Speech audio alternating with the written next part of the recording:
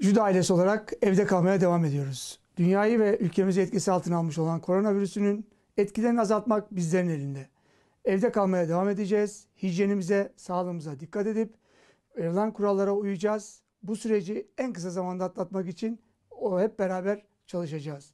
Başta Cumhurbaşkanımız olmak üzere Sağlık Bakanımız ve tüm sağlık çalışanlarını alkışlıyoruz. Bu güzel süreci en iyi şekilde götürdüklerini biliyoruz ve gayretlerinden dolayı tekrar teşekkür ediyoruz. Judo camiası, spor camiası ülke olarak ailemizi ve sevdiklerimizi korumak için evde kalmaya devam edeceğiz.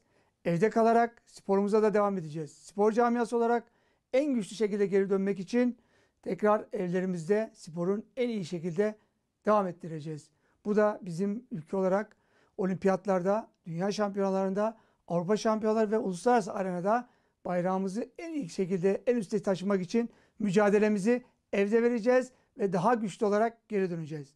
Türkiye evde kal. Ama evde kalarak sadece yemek ve dinlenmek yok. Sporumuza, judomuza kaldığımız yerden devam edeceğiz. Ve ben de bildiğim kadarıyla sizlere işin püf noktalarını göstererek hep beraber zinde kalıp tekrar eski günlerimize daha güçlü döneceğiz.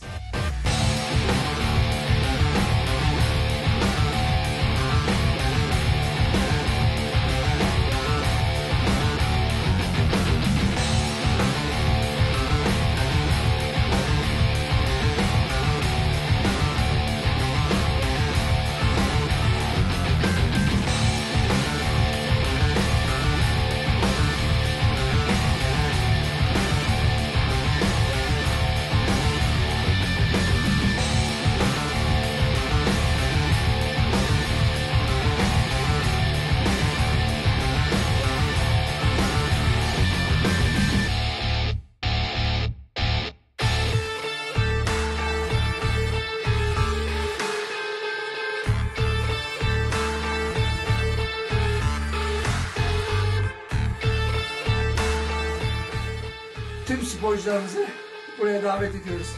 Videolarınızı bekliyor ve çalışmanıza başarılar diliyorum.